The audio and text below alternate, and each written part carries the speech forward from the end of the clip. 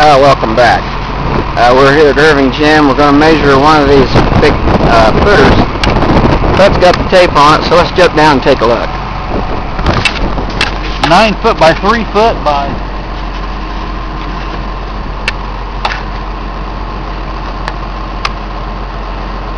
Hello? Hello? Yeah.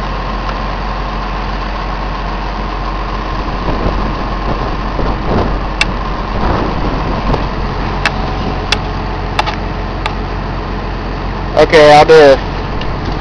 Got Bud's on StanCam right now doing a measurement. there's nine nine yards of concrete in there. How much is it? Nine yards of concrete. Wow. Okay, yeah, okay. Thirty-six thousand pounds. What's that again, Beth? How much? Thirty-six thousand pounds. Nine yards of concrete. About four thousand pounds per yard. And that's what we're looking at right here, folks. They can't say that we didn't take this baby out, because here she is. Would you say this is about the middle footer, bud? Middle footer on the north wall. Middle footer on the north Middle wall. pier on the middle footer. Okay.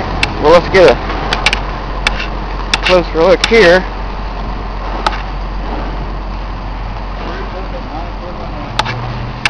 Maybe, maybe if we come down in the hole, we can get a better look. So let's try it.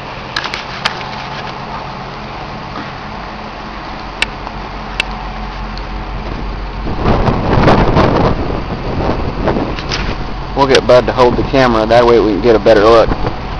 Hey Bud, hold the camera. Sure. It's on recording. This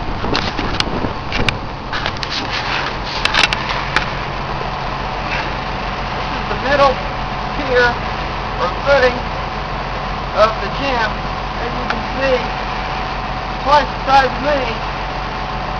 So, kind of gives you a good idea of what we're dealing with. There's a lot of mucky ground here, came out really nice.